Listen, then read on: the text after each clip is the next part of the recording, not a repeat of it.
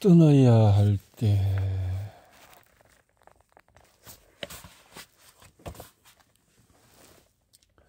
인간관계 설문지에 기록한 답이 두드러지게 부정적이었지만은 내적 구령에 의해서 왜곡된 글은 아니라고 판명된 경우를 살펴보자. 만약 상대방이 변화를 바라는 것이 비현실적이거나 당신은 변화를 바라지만 상대방 그럴 생각이 없다면 그 관계를 지속할 이유가 무엇인지 진지하게 생각해 봐야 한다. 사람들이 불만족스러운 관계를 유지하는 이유는 두 가지가 있는데 이 두 가지 모두 내적 불행에 그 뿌리를 두고 있다. 첫째는 불만족스러운 관계는 내적 불행을 충족시킨다. 어릴 때 인간관계의 즐거움과 고통을 혼동하며 어, 다른 사람들은 인간관계를 맺는 다른 방법을 전혀 고려하지 못한다. 이들은 모든 인간관계에 피치 못할 갈등, 배신, 경멸, 거리감이 있다고 기대하며 이러한 고통스러운 관계가 정상적이며 불가피하다고 생각한다. 이들은 자신이 인간관계가 그렇게 나쁜 상태는 아니라고 생각하기 때문에 불만족스러운 관계를 벗어나지 못한다. 이들은 다른 사람의 용인할 수 없는 행동에도 스스로를 비난한다. 또한 상대방의 감정적인 상처를 주기 매우 어려서 차라리 자신이 불편하기를 택한다. 이런 그들이 그 관계가 없으면 자신은 더 이상 기댈 것이 없을 것이라고 확신하기 때문이다.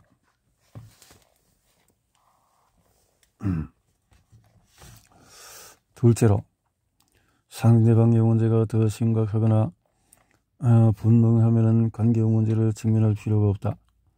친구나 연인이 학대적이거나 또는 지나치게 독립적인 한 사람이라면 그 문제가 워낙 두드러져서 친밀하고 즐거운 관계를 만들고 싶어하는 내면의 갈등은 피하게 된다.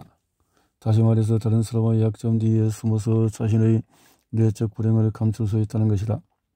관계를 지속한다고 해서 진정한 만족을 누릴 수 있는 것이 아닌데도 관계를 버리지 못하는 경우가 우리 주위에는 허다하다. 당신의 생각이 어떻든 만족스럽지 않은 관계를 지속해야 한다는 확신에 계속된다면 혹시 내적 불행이 사고에 영향을 미치고 있는 것은 아닌지 생각해 보자. 나를 좀먹는 관계. 케이비는 어, 크로라와 수년간 연인으로 지내면서 어, 크로라의 아들 브레드와도 매우 가까워졌다.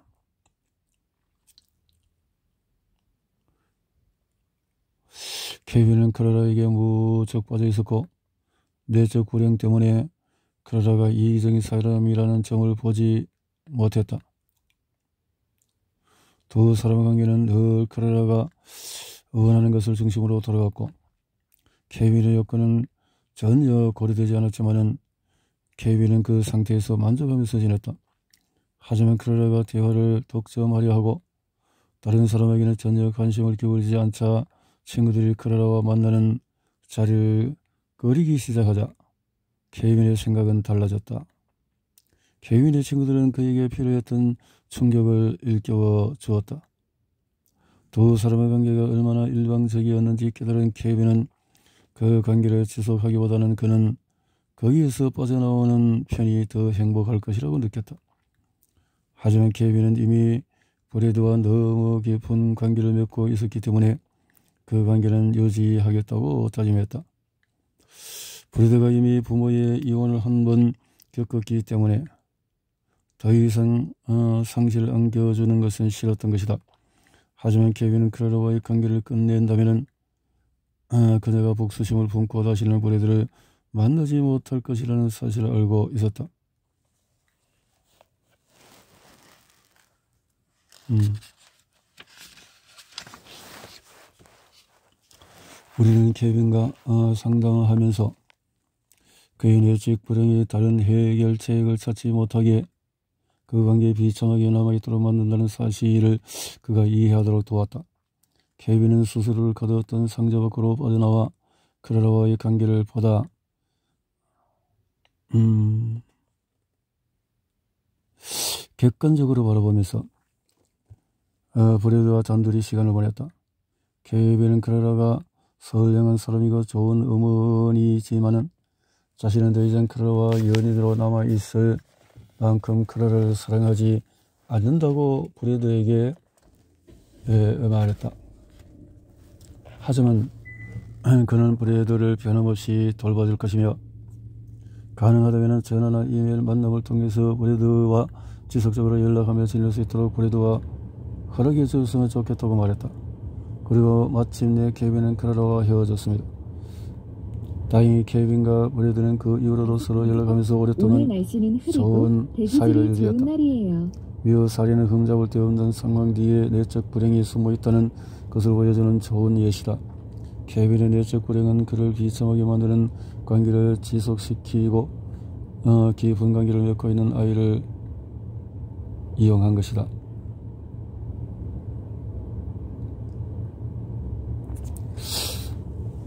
음, 부정적인 관계에 미치기. 앞서 기술된 모든 단계를 모두 마치고 문제되는 관계를 정리하겠다고 결정했을 때 주의해야 할 점이 하나 있다. 관계를 끝낼 때 두 사람이 필요 이상의 고통을 겪지 않도록 해야 한다는 점이다. 관계를 정결하면서 내적 불행의 문제를 야기하는 가장 하는 방법은 헤어지는 마당에 그동안 상대방에게 마음에 들지 않았던 점을 모조리 나열하는 것이 이 경우에 상대방이 좋지 않은 감정을 유발한다면 그나마 다행이다. 최악의 경우 심한 싸움이 일어나기도 한다.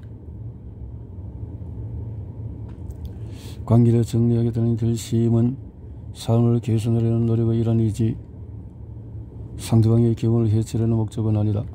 굳이 상대방을 꼬집지 않고서도 그저 잠시 물러날 방법도 있다. 특히 두 사람 사이의 공통의 친구들이 있다면 잠시 물러나는 것도 좋은 방법이다. 내적 불행은 싸움을 일으켜서 친구 사이에서 혼란을 유발하려 하고 어느 한편에 서도록 만들 수 있다. 한 친구만 따로 만나겠다는 계획을 포기한다면 두드러진 관계의 문제는 조용히 사라질 것이다. 이때 그 친구가 왜 자기와 좀 더 시간을 보내지 않느냐고 물어서 정직한 대답을 해야 한다면 화를 내거나 그러는 불만사항을 일일이 나열하지 말고 어, 당신을 괴롭혔던 문제 하나를 상대방에게 지혜롭게 전달해보자. 다시 한번 말하지만 이것은 삶을 개선하기 위함이지 타인에게 상처를 주는 것은 아니다. 그 사람도 내적 불행의 포로일 수도 있기 때문이다. 연인 관계는 끊기가 더 어렵다. 연인 관계의 특성상 사회적 뒤로 물러난다고 해결되는 일은 아니기 때문이다. 연인 관계에서 관계를 종결 한다는 것은 완전히 관계를 끊는다는 것을 의미한다. 또한 연인 관계에서는 어, 느끼는 감정은 매우 은밀하고 친밀하기 때문에 대개의 연인 관계는 굉장히 강렬한 성격을 띈다. 상대방이 자기 감정을 조절하지 못하거나 두 사람이 서로 화를 내다가 관계를 끝낸다면 상대방은 매우 분노에 보고 복감을 품거나 때로는 폭력을 행사할 수도 있다. 폭력적인 연인 안젤라는 손꼽 소꿉친구와 존과 어, 결혼했다. 저는 성격이 급한 데다가 말 질투심까지 강한 사람이었다. 저는 종종 안젤레가 바람을 피우려 한다는 근거 없는 의심을 했다. 하지만 이러한 오해 때문에 예, 저는 안젤레를 위협하곤 했고 실제로 안젤라를 구타한 적도 있었다. 협박당하는 느낌에 질린 안젤라는 이혼을 마음먹었다. 안젤라는 존에게 자신이 집에 돌아오기 전까지 짐을 다 빼달라고 부탁하면서 이제 참을 만큼 참았다고 말한다. 또 때로는 그를 사랑하지 않았다고 털어놓았고 내가 그렇게 집착하고 의심하는 이유는 진짜 남자와는 아, 겨룰 수 없다는 사실을 스스로 알고 있는 형편없는 사람이기 때문이라고 해, 했다. 그때 어느 날 안젤라가 사무실에서 일하고 있는데 존이 총을 들고 나타났다.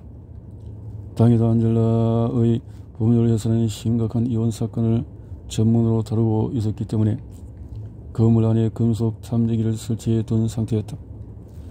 금속 탐지기가 울리자 보안관이 존의 출입을 차단했고 그는 체포되었다. 충격에 휩싸인 안젤라는 지인의 집으로 이사했고 존에게는 이 사실을 숨겼다. 우리와 상담하며 안젤라는 어렸을 때에 부모님이 항상 싸우고 자녀들에게 소리 질렀다는 것을 떠올렸다. 이러한 분위기에 안젤레는 관심과 돌봄을 학대와 혼동하게 되었고 결국 학대 관계를 원하는 욕구를 발달시킨 것이다. 안젤레는 행복에 대한 혐오 반응을 잘 조절할 수 있게 되기까지 우리와 충분히 상담했고 이후에 존에게 자신이 했던 말들을 사과하며 이혼을 요구하는 편지를 보냈다. 그녀는 존과 함께한 시간이 소중했다고 말하면서 존이 최선을 다해주었다는 사실을 알고 있다고 썼다. 그리고 존의 행운을 빌어주었다.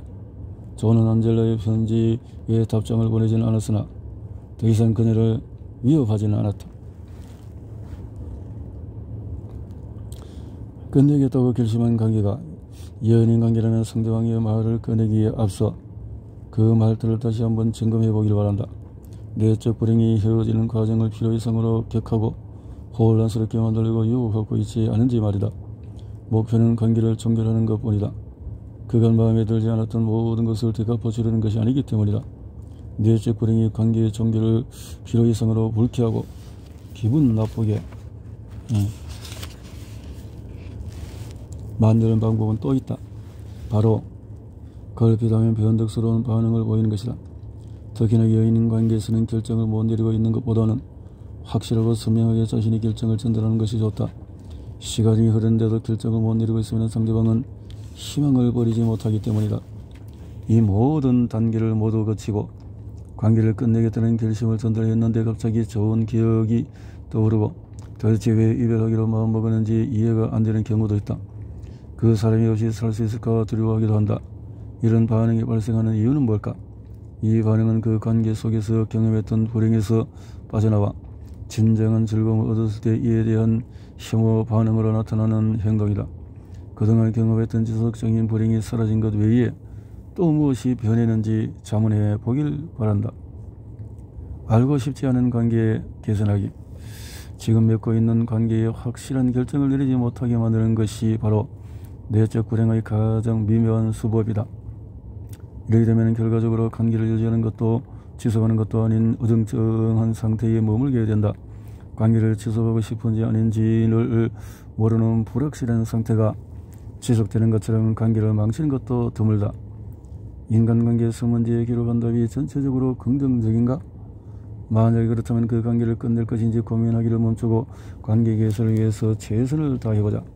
상대방이 정말로 이해하지 못할 행동을 했더라도 어, 그래 이제 그만하자 한순간도 더는 못 참겠어 차라리 어, 안 보고 말지라고 생각하기보다는 이왕에 떠나지 않겠다고 마음먹었으니 저 사람이 행동을 바꾸도록 설득해보자 아니면 저 행동을 내가 참을 수 있는 점도 변화시킬 방법을 강구해야겠어라고 생각하는 편이 훨씬 더 합리적이다.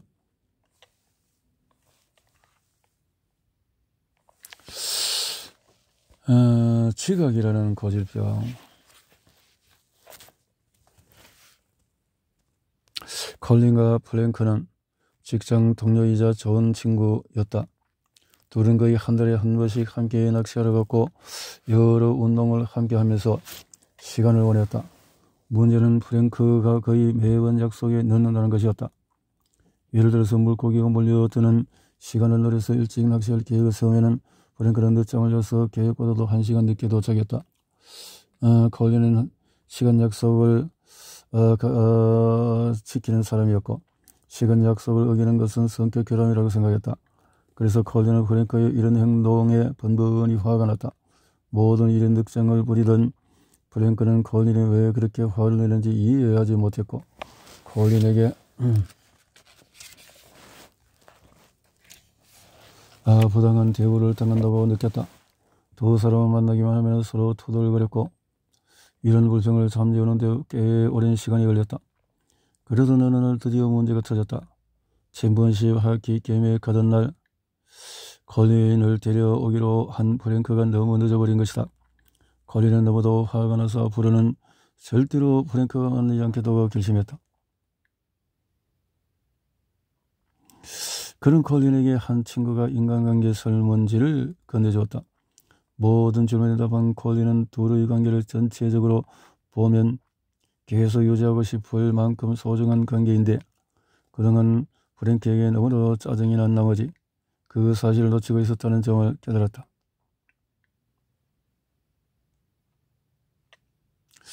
또한 거리는 프랭크와 친구 관계를 유지하면 하려면 함께 나누는 즐거움을 강화하고 갈등은 줄여야 한다는 사실도 깨달았다.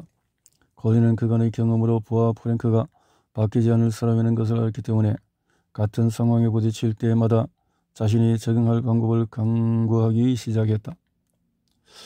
스포츠 경기를 보러 갈 때면 거리는 프랭크를 어느 정도 기다리다가 그가 제 시간에 도착하지 않으면 먼저 경기장에 가서 자리를 맡아놓게 두고 말하고 이동했다. 낚시를 갈 때는 미리 나가서 아침 식사를 준비할 계획을 세웠다. 그런 프랭크가 늦게 오더라도 아침 식사를 함께 먹고 낚시가 아직 한창일 때 낚시터에 도착할 수 있었다. 테니스에 지러 갈 때는 또 걸리는 프랭크를 기다리면서 어, 읽을 책을 준비해 나갔다. 이렇게 걸리는 프랭크가 늦을 때 자신의 기분이 불쾌해지지 않도록 계획을 세우고 책임을 다했다. 프랭크가 늦는 것 때문에 불편을 겪을 때마다 화를 내기보다는 다음에는 어떻게 해야 할지를 방법을 생각하려고 했다. 갈등과 분노가 사라지자 두 사람은 더욱 친밀해졌고 둘의 우정은 그 어느 때보다도 깊어졌다. 지금 맺고 있는 인간관계가 가치가 있다고 생각한다면 상황이 악화되었을 때 당장 떠나버리겠다는 생각은 접어야 한다.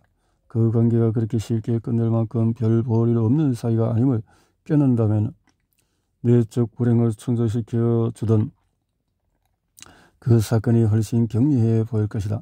그리고 그 관계를 떠나겠다는 극단적인 생각하면서 위안을 느끼기보다는 훨씬 더 건설적인 해결책을 강구하기 위해서 노력하게 될 것이다. 이 관계를 떠나면 반드시 행복해질 거라고 생각하겠지만 실제로는 깊은 상실이 찾아올 것이다.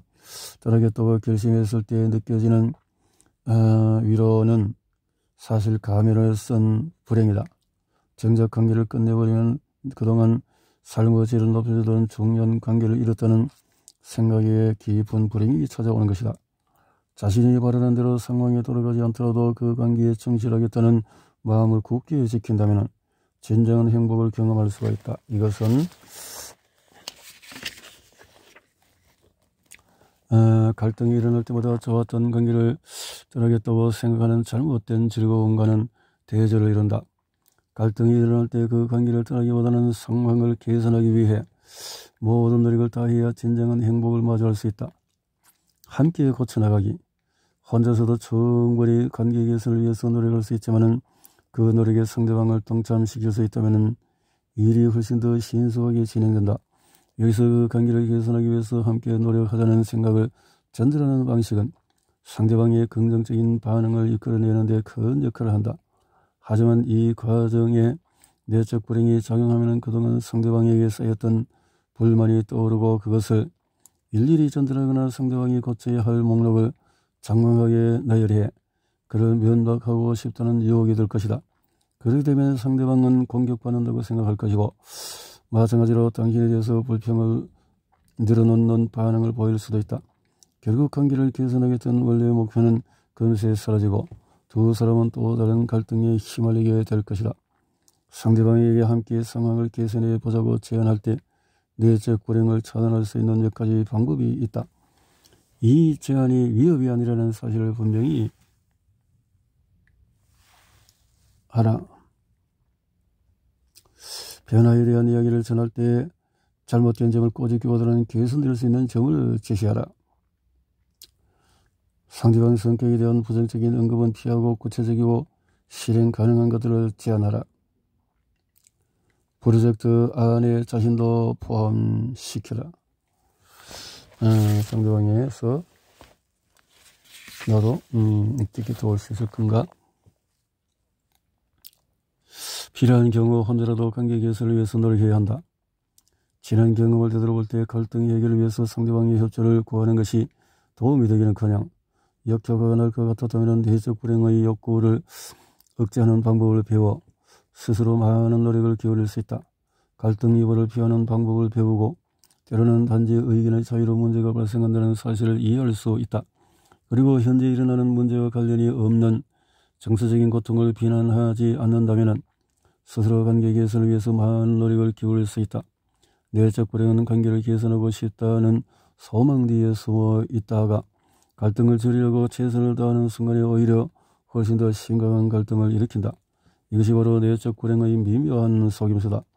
상대방의 습관을 뜯어고치고 싶어요. 루스는 지저분한 것을 매우 싫어한다.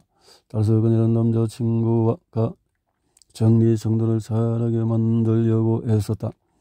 에, 어느 저녁에 함께 식사하기 위해서 남자친구 집에 갔던 루스는 깨끗하지 않은 집 상태에 기분이 매우 나빠져서 남자친구를 비난했다. 깔끔하게 지내겠다던 약속을 어겼고 이 집에 방문한 아, 자신의 기분 역시 전혀 신경 쓰지 않았다는 이유였다. 그녀의 남자친구는 그동안 너무 바빴어. 회사 사람들이 왔다 갔거든 이라고 말하면서 방어적인 태도를 취했지만 나중에는 그렇게 더러운 것도 아닌데 뭘 그래. 네가 유별나게 깔끔한 것에 집착하는 거야라며 불쾌한 기색을 드러냈다. 루스의 내적 불행은 충족이 되었지만 두 사람의 관계를 긍정적으로 바꿔보려던 그녀의 노력은 좌절되었다. 내적 불행의 방해를 예상할 수 있다면 자신의 목표에서 주의를 빼앗길 가능성이 줄어들고 두 사람 사이의 친밀감도 높아지면서 더 즐거운 시간을 보내게 될 것이다. 연인이 집에 갔는데 어지럽혀져 있다면 우선 따뜻하게 인사하고 나서 바닥에 놓인 물건들을 직접 줍거나 아, 우리 로맨틱한 저녁 식사를 위해서 소파에 있는 접시들을 좀 치우는 게 어떨까? 라고 긍정적인 노트로 도움을 구하기를 바란다. 직접 청소하거나 정중하게 부탁할 기분이 아니라면 다음번에 이 문제를 의논할 수도 있다. 큰 다툼으로 번지는 것보다도 조금 지저분하게 있는 것이 나았다. 내적 불행은 당신이 갈등을 선택하도록 항상 이어갈 것이다. 연인이 출장으로 자리를 비웠는데 내가 원하는 만큼 자주 연락을 하지 않는다면 그 사람이 돌아온 후에 문제를 해결할 기회가 있을 것이다. 출장에서 돌아온 상대를 만나자마자 왜 연락을 안 하는 거야? 내가 얼마나 아 그렇지 그렇게 아, 화가 났는지 알아? 라고 인사한다면 상대방은 이번 출장이 얼마나 힘들었는지 네가 알면 그런 소리 못할 거야. 라고 말하면서 곧바로 방어적인 태도를 취하거나 너도 내가 일하는 만큼 일해봐. 전화 오는지 모를걸? 어, 하고 불쾌한 표정을 지을 수도 있다.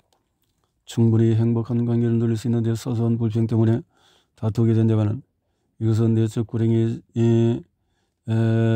작용했기 때문이다.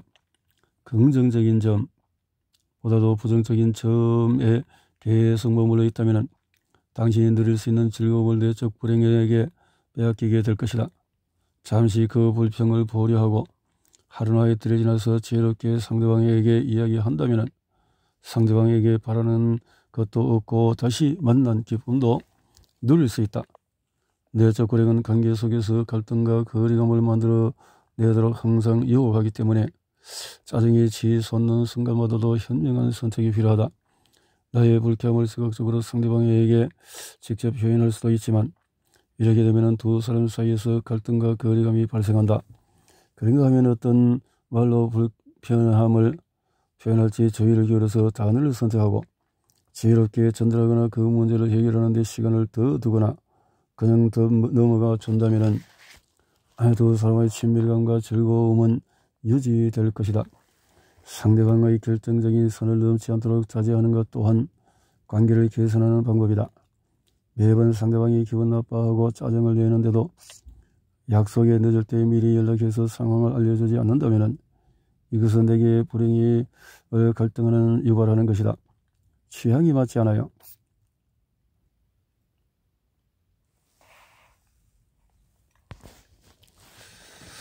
어, 이런 음, 경우 모델인 매력의 외모는 무척 중요하다. 매일은 옷과 화장품을 고르는데 어마어마한 시간을 투자했다. 게다가 그녀는 남편인 톰과 외출을 나갈 때면은 그가 멋져 보이기를 원했다. 톰은 아름답고 잘 차려입은 아내가 매우 어, 자랑스러웠으나 자신이 멋지게 차려입은 것, 입는 것은 싫었다. 톰은 직장에서 늘 정장을 입기 때문에 여가 시간에 편하게 지내고 싶어 했다. 톰은 검은색 어, 카고 바지와 폴로 셔츠를 선호했다. 깔끔하게 입기만 하면 되는데 왜 아내는 그런 촬영을 받아들이지 못하는지 이해가 가지 않았다.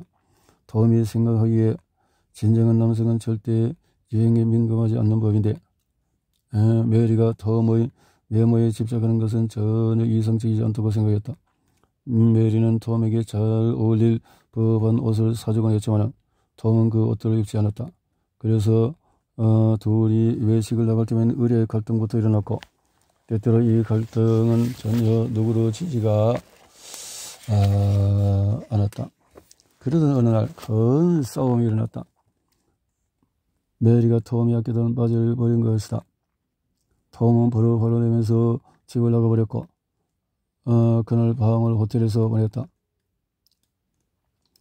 우리는 톰에게 아내를 사랑하는지 그녀와 계속 함께 하기를 원하는지 애물었다. 톰은 매일과 함께 있을 때 정말 행복하지만은 자꾸 벌어지는 이 갈등이 두 시간을 좀 먹고 있다는 사실에 불쾌했다.